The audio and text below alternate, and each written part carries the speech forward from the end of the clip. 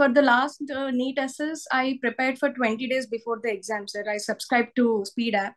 I went only through the videos. And uh, special thanks to the Speed team. Uh, whenever I had any issue with the MCQ or something, they would always respond to me. I bring in all the wishes and greetings on behalf of all the faculty members and team of Speed to Dr. Madam Shravya for scoring rank number three uh, in NEET SS 2024 exam in the specialty of MCH OBG group. Congratulations to you, Doctor. Thank you, sir. Thank you so much. Great.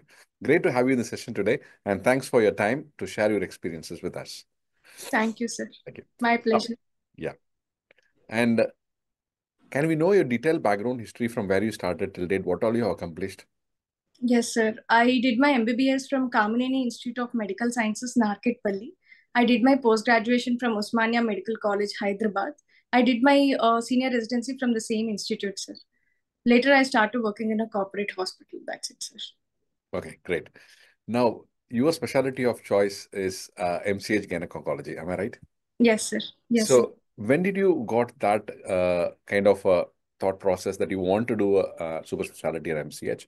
I mean, is there any specific point that somebody inspired you? You got into that that I want to do it. Can you share something on that?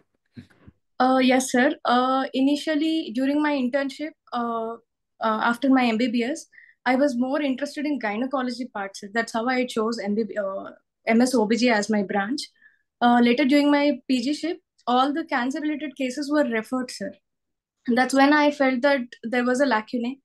So, and later I, I attended so many uh, workshops in oncology. So I gathered uh, interest from there, sir. So, so you you are been have exposed to cases and also you have been into that kind of specialty that gave you an influence that to do that, right? Once you decided to do uh, oncology, gynec oncology, MCH, then from that point of time till today, I mean, I mean, you got the topmost rank in the country of rank number three. I mean, what all you did, what was your preparation strategy? What is the time that you're given for this? I mean, what all you underwent to be a successful person today? Okay, sir. Uh, for the last uh, NEET SS, I prepared for 20 days before the exam, sir. I subscribed to Speed app. I went only through the videos and I could get rank 161, sir. Uh, this time my preparation actually started in the month of April 2024, sir. I gave INI-SS in April session. I just qualified, but I was not called for the interview. Then I understood that I have lacunae. I didn't read Berek and Hacker then, uh, ESGO, and guidelines, all of that. For the October session, I did everything, sir. Uh, line to line, word to word so i was able to give uh, but i missed by two marks. I got aml 6 and cml 3 so uh, then i started uh, my preparation for NEET SS in feb sir. I took a month a break in january sir because i was little upset. Um, entire february i did reproductive medicine. I gave my fet exam. I got rank 28 after the exam i had one month for NEET SS so i studied i revised multiple times. I read all the guidelines acog rcog I think I spent around 10 to 12 hours per day, sir. I made my own notes. Uh, I did as many MCQs as I can. So that is what I did, sir. So, so you fine tuned your preparation towards this NEET 2024 session on happened on 29th and 30th of March 25. Now, can we know what are the fine tunings you did? I mean, I mean, you had earlier an exam, then after an INI-SS exam, after an FET exam, I mean, as you have been giving exams, you would have learned through the examination process. This is what they're trying to ask us. Can you tell us something on that? What are they trying to ask you? I mean, so that the students who are watching this video could also have an insight on that. Yes, sir. Uh, with each exam, I understood that uh, I have to have clear concept of every topic I am reading, sir. So whenever I read some immunohistochemistry marker or how the ICG tracer dye is going, if you just read them, you'll understand that, oh, this procedure must, must have been done like this but i used to always go back to the video and see how it is done how the lymph, lymph nodes are picked up. Uh, so that gave me more understanding of the concepts sir. second thing uh, what i understood is uh, initially i felt many people told that NEET SS was more based on memory based but this time i felt it was conceptual.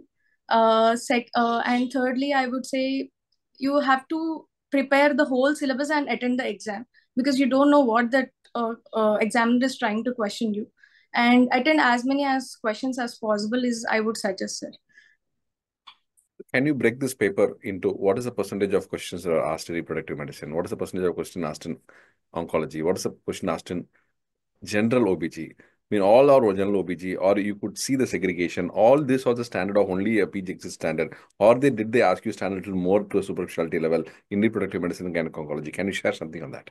Yes, sir. Sir, actually, the last NEET I gave, it was not much, not not through major preparation. So I cannot relate the, how this paper was to to when compared to the last NEET.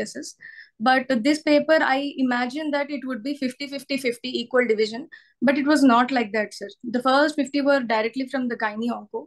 Uh, the next 50 were a mix of uh, obs and gynae. And the last 50, I don't know, sir, exactly. It's, it's a mix of everything but general obs, I feel there were hardly any questions, sir. Hardly 10. And reproductive medicine, hardly 10. That's it, sir. So I feel majority is from onco. Okay. So of the uh, 150 paper, I mean, you felt a lot of questions were asked from gynec onco. Yes, sir. Yes, sir.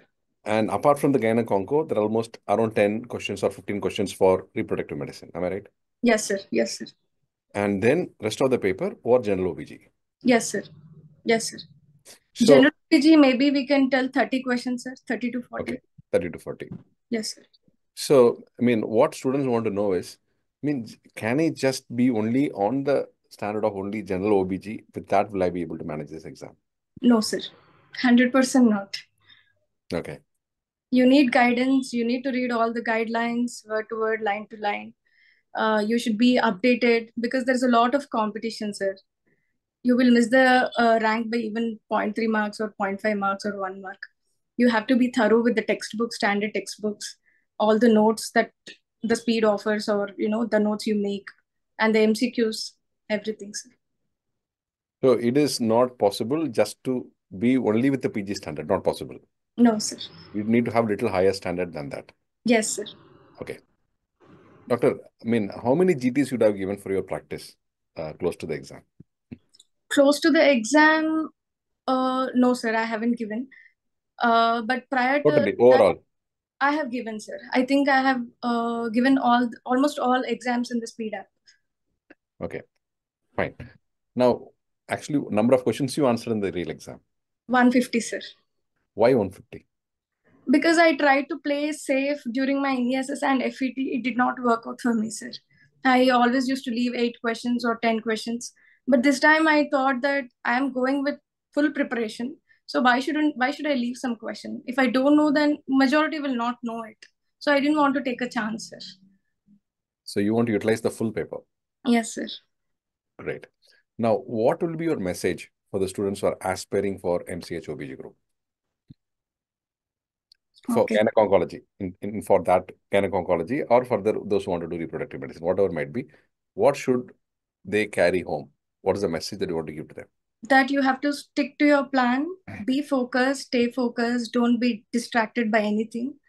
Uh, even if you you make a plan of your own your schedule of your own according to the speed or the pattern you study even if you're lagging by 10 days 20 days just don't feel bad or sad.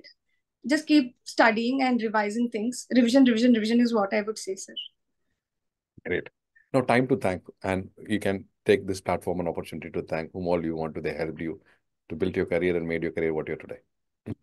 Sir, firstly, I would like to thank my family, my father, my mother, and my sister. They were extremely supportive throughout the journey because I was giving exams, I was not getting through.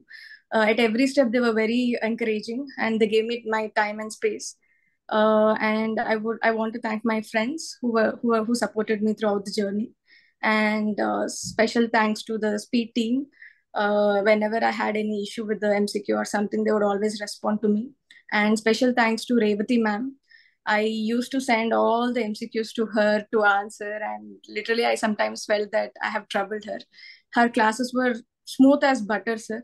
So I thoroughly enjoyed her classes, and I think her classes gave me so much interest to study further. So, uh, special thanks to Revati ma'am, sir. Great, doctor. We once again we wish you all the very best and all the success for a great career ahead in MCH Gynec Oncology of your dream specialty of your choice. Thank you, sir. Thank, Thank you so much. Thank you.